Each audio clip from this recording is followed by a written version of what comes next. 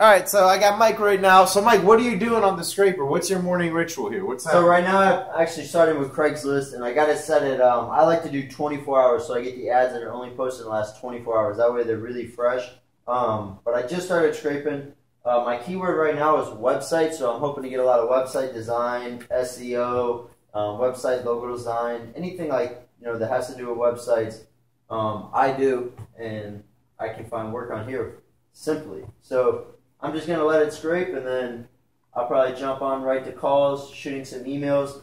Um, as you guys can see, really quick, um, instead of going manually through Craigslist and trying to email each ad at a time, you can also pop up the ads and see it. But um, but um? Oh yeah, you can select all, and you can auto reply to everybody instantly. So it's Nice. kick ass, guys. Get on it. All right, hell yeah! And this you do this every single morning, huh? Well, in the morning, in the afternoon, usually. Okay, cool. See what's up. All right, guys, Ultimate Scraper Pro. Check it out in the description below.